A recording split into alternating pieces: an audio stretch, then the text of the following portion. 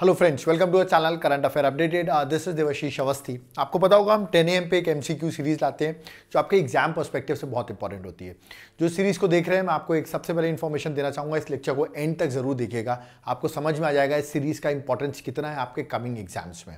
Okay और ये lecture number seventy है। ऑलरेडी मैं सेवेंटी लेक्चर्स करा चुका हूँ इंडिविजुअल सब्जेक्ट्स के। आज मेरा सब्जेक्ट जोग्राफी है। ऐसे इंडिविजुअल सब्जेक्ट्स के लिए, अगर आप देखना चाहते हो लेक्चर्स को, उसकी लिंक मैंने प्लेलिस्ट की लिंक डिस्क्रिप्शन बॉक्स में दे दिया पूरे लेक्चर्स देखिए, मैं आपको गारंटी देता हूँ, आपके एग्ज़ाम्स में बहुत हेल्पफुल होंगे। और आप इसको मान नहीं रहे तो इस लेक्चर को एंड तक ही देख लिया आपको समझ में आएगा कितना कुछ आपको लेक्चर के एंड तक आप सीख जाओगे। ओके तो चलिए स्टार्ट करते हैं। ये लेक्चर टेन फिफ्टीन मिनट्स का ही होता है, ज़्यादा बड़ा होता नहीं है तो आप इस लेक्चर को एंड तक ज़रूर देखें। ओके और जो चैनल को देख रहे हैं, याद रखिएगा लेक्चर को देख रहे हैं, मैं आपको एक चीज़ ज़रूर बोलूँगा, आप इन रिटर्न हमारे एप्लीकेशन को ज़रूर डाउनलोड कर लें। देवाशीष क्लासेस ये आपको हमारे इसके बारे में लिंक जो है, वो डिस्क्रिप्शन बॉक्स से मैंने मेंशन कर रखी है। ऐप को डाउनलोड कर ले अगर आप प्रिपरेशन करना चाहते हैं हमारे साथ। कोर्सेज के साथ, प्रॉपर स्टार्टिंग से बेस से एनसीईआरटी कोर्सेज के साथ, याद रखिए जहाँ पर आप सब कुछ पढ़ना चाहते हैं, जनरल स्टडीज़ के लिए तो आप एक बार ऐप को ज़रूर विज़िट करें, आपके लिए बहुत हेल्पफुल होगा। ओके? तो चलिए स्टार्ट करते हैं। जैसे मैंने प्रॉमिस किया, एंड तक ज़रूर देखिएगा इस वीडियो को। अगर पसंद आए तो ही लाइक करिएगा। ओके? तो चलिए स्टार्ट करते हैं और देखते हैं पहला क्वेश्चन क्या है।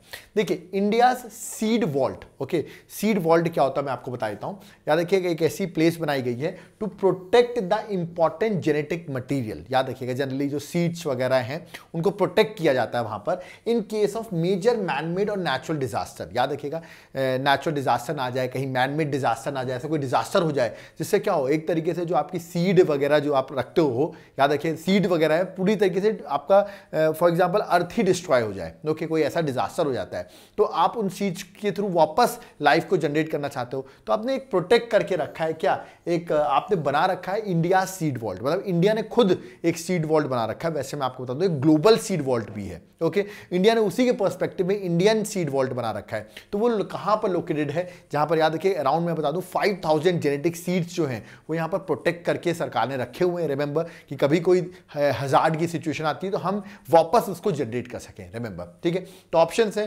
कंचनजंगा है काराकोरम पास है लद्दाख है नंदा देवी है। तो कहाँ पर ये बना रखा है? बहुत इंपॉर्टेंट है एग्ज़ाम परस्पेक्टिव से क्वेश्चन बहुत ज़्यादा इंपॉर्टेंट है। याद रखिएगा।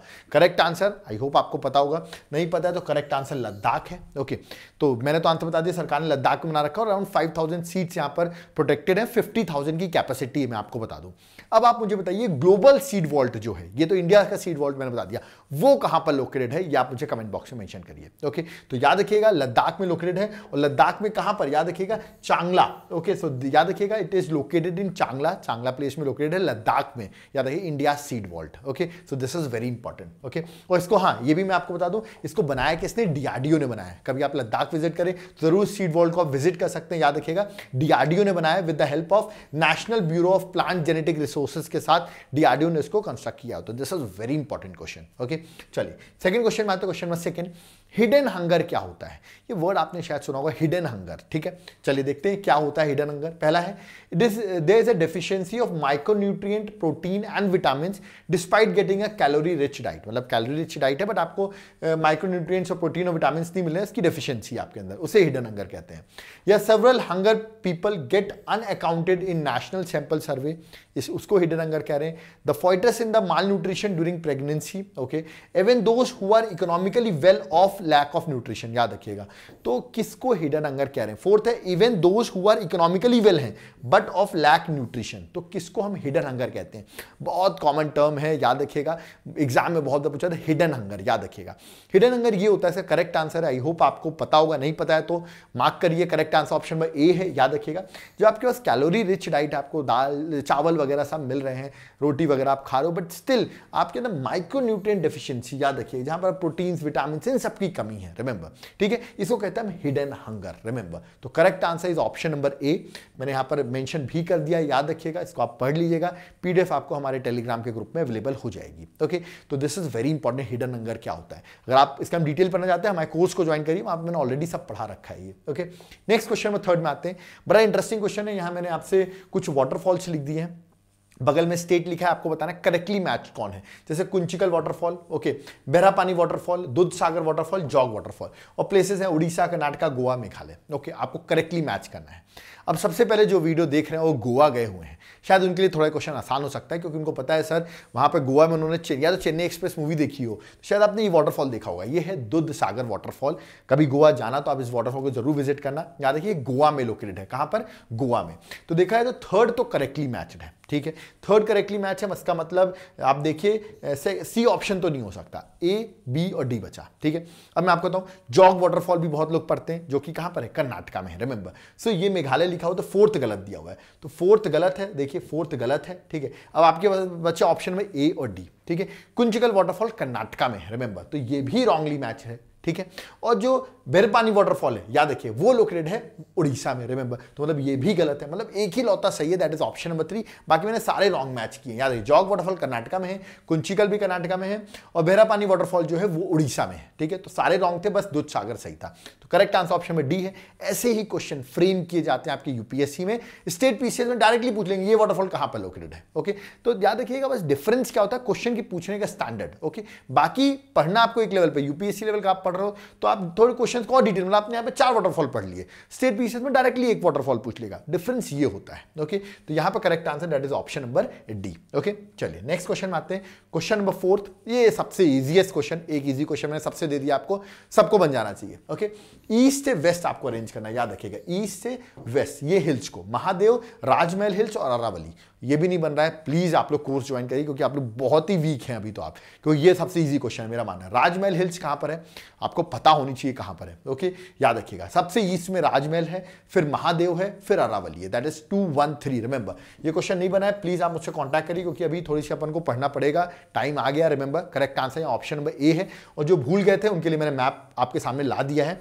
ये है आपका राजमहल हिल्स आपको अगर आइडिया होगा इसके बारे में, ये आपका महादेव हिल्स और ये आपकी अरावली रेंजेस रिमेंबर तो ईस्ट से वेस्ट आई थिंक मैंने अरेंज कर दिया है ओके तो this is very important question okay next Jammu and Kashmir, Ladakh, सबका मन होगा कभी ना कभी जम्मू एंड कश्मीर, लद्दाख विज़िट करने का। तो चलिए आज मैं विज़िट करा देता हूँ आपको। आपको ईस्ट से वेस्ट वापस ईस्ट से वेस्ट अरेंज करना है। कुछ प्लेसेस को ऑप्शन है, श्रीनगर, कारगिल ले और श्योक। ये चार को आपको अरेंज करना है ईस्ट से west difficult question I know it is difficult question कैसे अरेंज करेंगे? कारगिल सबसे ईस्ट में रखेंगे श्रीनगर को रखेंगे श्योक को रखेंगे या ले को रखेंगे?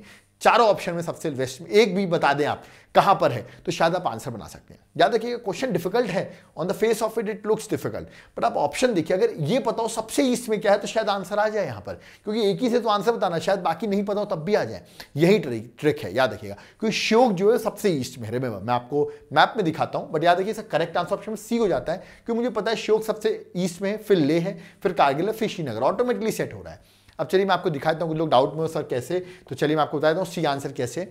आप ये देखिए, ये आपका श्योक ये आपका ले देन कारगिल और फिर आप ये देख रहे हैं श्रीनगर ओके तो ये ईस्ट से वेस्ट अरेंज हो गया। तो बता क्वेश्चन डिफ़िकल्ट था बट ऑप्शन अगर एक भी पता होता तो उससे आंसर आ रहा था। तो इस क्वेश्चन को हम डिफ़िकल्ट इतना नहीं मानेंगे okay next question number six this is a tricky and difficult question what I कुछ से क्योंकि कुछ इंपॉर्टेंट वैलीज लिखी हुई हैं। शायद आपने नहीं सुनी होंगी वैली क्या है ओके और उनके बगल में मैच द फॉलोइंग है, क्या करेक्टली मैच है कि नहीं? जैसे Markha valley Dzukou valley Sangla valley और युमतांग वैली ओके अब शायद ये वैलीज नहीं सुनी हो बट मेरा मानना है ये वाली वैली तो मैंने बहुत बार करंट अफेयर्स में भी कराई हुई है ओके पता होना चाहिए आपको। मारखा वैली लद्दाख लिखी हुई है दोस्को वैली हिमाचल प्रदेश सांगला वैली असम और युमतांग वैली सिक्किम आपको पता है करेक्टली कौन सा मैच है ओके अब इसमें अगर ये पता हो कौन सा रॉन्ग है तो शायद आप आंसर निकाल सकते हैं रिमेंबर तो मैं आपको बता देता हूँ उसमें दोस्को वैली, जिसको पता है, मैंने पढ़ाया हुआ है, क्योंकि मणिपुर नागालैंड में अभी यहाँ पर फायर भी लगी थी रिमेंबर तो ये मणिपुर नागालैंड के पास है, हिमाचल प्रदेश में नहीं है।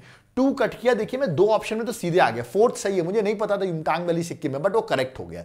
अब थ्री और वन में से कोई एक ही चीज़ सही है, ठीक है? सांगला वैली हिमाचल प्रदेश में, असम में नहीं है, याद रखिएगा।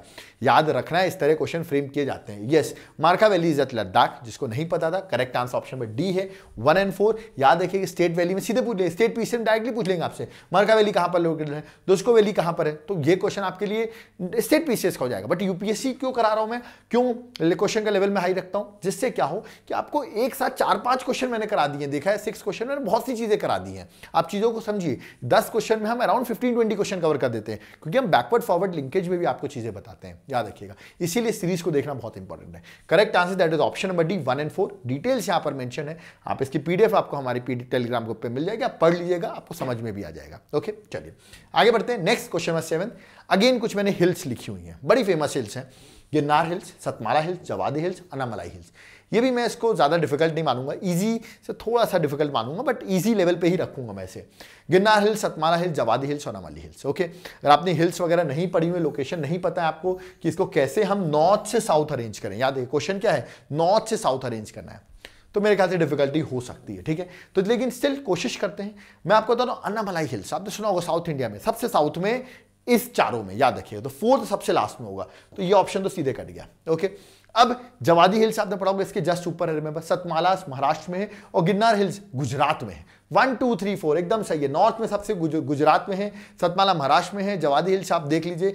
कहाँ पर है? दैट इज़ तमिलनाडु में आप देख रहे होंगे। यहाँ पर देखिए Javadi hills. That is at Tamil Nadu remember ठीक है? और ये आपकी अनामलाई हिल्स है, जो और नीचे है रिमेंबर ठीक है? तो आपको याद रखना ये हो गई आपकी, और यहाँ पर आपकी है सतमाला हिल्स। ये देखिए सतमाला हिल्स और गिरनार हिल्स इधर साइड है। ठीक है? That is at Gujarat remember तो यहाँ पर मैंने पूरा मैंशन कर दिया, जूनागढ़ डिस्ट्रिक्ट में गिरनार हिल्स है। ओके तो देख रहे हैं क्वेश्चन किस तरह पूछ रहा हूँ मैं आपसे? ये यूपीएससी का लेवल है, याद रखिएगा। इस तरह क्वेश्चन ईजी और डिफ़िकल्ट को फ्रेम किया जाता है। ओके अगर आप चाहते हैं सर कैसे कोर्सेज की प्रिपरेशन करें स्टार्टिंग से पढ़ना चाहते हैं, एकदम ज़ीरो से प्रॉपर गाइडेंस के साथ सो ट्वेंटी का भी ट्वेंटी का भी दोनों का ही कोर्सेज हमारे एप्लीकेशन में अवेलेबल है। तुरंत जाए, आपको डाउनलोड करें। अभी और भी क्वेश्चन है, जाना मत, अभी एंड नहीं हुआ है, याद रखिएगा। आप ज़रूर हमारे कॉन्टैक्ट नंबर पर भी कॉन्टैक्ट कर सकते हैं, अगर आपको कोई क्वेरी हो तो। ओके चले आगे बढ़ते हैं। अब हम आते हैं कुछ जोग्राफी से। क्वेश्चन आगे बढ़ते हैं। रिमेंबर क्वेश्चन एट्थ में आते हैं। बड़ा इंपॉर्टेंट स्टेटमेंट है। ऐसे यूपीएससी बहुत फ्रेम करता है क्वेश्चन ऐसे एक बड़ा सा स्टेटमेंट दे देगा क्वेश्चन बड़ा आसान सा होगा। River is a major source of irrigation बिल्कुल सही बात है। किस स्टेट में? महाराष्ट्र, कर्नाटका, तेलंगाना और आंध्र प्रदेश में। ओके और इसी रिवर के बैंक में एक बहुत इंपॉर्टेंट टाइगर रिज़र्व है, जिसका नाम है नागार्जुन, याद रखिएगा Srisailam tiger reserve Nagarjuna tiger reserve भी कहते हैं इसको। ओके ये कौन सी रिवर की बात कर रहे हैं? ये क्वेश्चन आजकल यूपीएससी बहुत ट्रेंड में है, ऐसा क्वेश्चन फ्रेम कर रही है। ओके तो मेरे ख्याल से अगर आपको पता महाराष्ट्र, कर्नाटका, तेलंगाना, आंध्र प्रदेश, कौन सी रिवर होगी? ठीक है? और आप ये देख लीजिए, ये टाइगर रिज़र्व है। जिसको नहीं पता करेक्ट आंसर मैं आपको बता देता हूँ बट इसको ज़रूर पढ़िए। करेक्ट आंसर है कृष्णा रिवर ओके महाबलेश्वर से कृष्णा रिवर ओरिजिनेट होती है महाराष्ट्र में। कमेंट बॉक्स में आप मुझे कृष्णा रिवर की तीन ट्रिब्यूटरीज कमेंट बॉक्स में मेंशन करिए। ओके तो correct answer that is option number C okay जो मैं बोलता हूँ उसको ज़रूर आप कमेंट बॉक्स में मेंशन कर दिया करिए। ओके तो correct answer that is option number C okay चलिए। Question number ninth current affairs का क्वेश्चन है बट जोग्राफी से लिंक कर दिया है। अभी रिसेंटली एरप्शन हुआ है इस वॉल्केनो का। वुल्फ वॉल्केनो क्या नाम है इसका? यार वुल्फ वॉल्केनो जो भी रिसेंटली एरप्ट हुआ है, याद रखिएगा। और मैं बता दूँ, ये अभी न्यूज़ में भी है, क्योंकि ये अभी एरप्ट हुआ है और ये हाईएस्ट पीक है उस पर्टिकुलर आइलैंड का। रिमेंबर आपको बताना है कौन से आइलैंड में ये रिसेंटली एरप्शन हुआ है? हवाईयन गलपागोस मरीन आइलैंड या कैरोलिन आइलैंड ओके अब ये डिफ़िकल्ट हो जाता है मेरा मानना है कि नहीं पढ़ा होगा सर, ये आप कैसा वोल्फ वॉल्केनो पूछ रहे हैं। तो यही चीज़ तो आपको अपने नोट्स में ऐड करना है। यही तो इस सीरीज़ का इंपॉर्टेंस है कि हम कुछ ऐसे क्वेश्चन ज़रूर देखें जो न्यूज़ में हमने नहीं पढ़े हैं। याद रखिएगा वोल्फ वॉल्केनो जो है वो है गलापागोज आइलैंड में और यहीं की हाइएस्ट पीक भी यही है वोल्फ वॉल्केनो अभी रिसेंटली एरप्शन हुआ है ओके अब आप मुझे कमेंट बॉक्स में बताइए गलापागोज आइलैंड्स जो है, वो किस ओशन में लोकेटेड है? मैं ऑप्शन दे रहा हूँ Pacific Ocean Atlantic Ocean Indian Ocean या आर्कटिक ओशन ठीक है? ये मैंने चार ऑप्शन दिए तुरंत कमेंट बॉक्स में बताइए और जाके ज़रूर एक बार मैप में देखिए गलापागोज आइलैंड कहाँ पर है? बहुत फ़ेमस है, इनके बारे में हिस्ट्री भी रिमेंबर अभी रिसेंटली एरप्शन हुआ इसको माउंट विल्टन भी कहते हैं, याद देखिए माउंट विल्टन भी इसका नाम है रिमेंबर ओके चलिए, आज का last question question number tenth प्रधानमंत्री नरेंद्र मोदी पर, इससे मैं दो तीन चीज़ें बताने वाला हूँ। उन्होंने अभी रिसेंटली एक डेट को डिक्लेयर किया, Veer Bal Diwas okay by PM Modi okay Veer Bal Diwas okay 26 दिसंबर 25 दिसंबर 20 दिसंबर 31 दिसंबर। कब सेलिब्रेट किया जाएगा? इंपॉर्टेंट क्वेश्चन है, क्योंकि रिसेंटली याद रखिएगा, अभी रिसेंटली एक जयंती आई थी नाइन्थ जैन को, वो वो जयंती थ्री फिफ्टी याद रखिएगा एनिवर्सरी सेलिब्रेट की गई ओके उन्होंने वीर बाल दिवस इनोग्रेट करने की बात की डेट क्या है? बिल्कुल सही कह रहे हैं ट्वेंटी दिसंबर, सही है बट वीर बाल दिवस क्यों सेलिब्रेट किया जाएगा 26 दिसंबर को? ये आप मुझे कमेंट बॉक्स में बताएँगे बट मैं आपको यह ज़रूर बता देता हूँ कि गुरु गोविंद सिंह, याद रखिए, उनकी जयंती थी 355 याद रखिएगा थ्री मैं लिख रखा है three fifty fifth birth anniversary थी। इसी में गुरु गोविंद सिंह जी की बर्थ एनिवर्सरी नरेंद्र मोदी जी ने बोला, वीर बाल दिवस सेलिब्रेट किया जाएगा रिमेंबर और आपको मुझे बताना है, वीर बाल दिवस क्यों 26 दिसंबर को सेलिब्रेट करने की बात कर रहे हैं प्राइम मिनिस्टर क्यों वीर बाल दिवस किसके नाम पर सेलिब्रेट करने की बात हो रही है? ओके ये आप मुझे कमेंट बॉक्स में बताएँगे। ओके तो देखिए, यहाँ पर हमारे लेक्चर्स तो ये लेक्चर तो कंप्लीट हो गया बट मैं आपको एक चीज़ बताना ज़रूर चाहूँगा। देखिए, मेरा एनसीआरटी की क्लासेस चल रही है मेरी। ओके वो बहुत ही इंपॉर्टेंट है मेरा मानना है। मैं पर्सनली आपको रिकमेंड करूँगा, अगर आपने एनसीआरटी क्लासेस नहीं देखी देखी हैं तो बहुत डिफिकल्टी हो सकती है आपको ओके एनसीईआरटी पढ़ रखी है, कुछ लोगों ने सामने पढ़ रखी है बट अगर आप लेक्चर्स देखोगे और फिर क्लास को, उसको देखोगे बुक को देखोगे, बहुत डिफरेंस मिलेगा।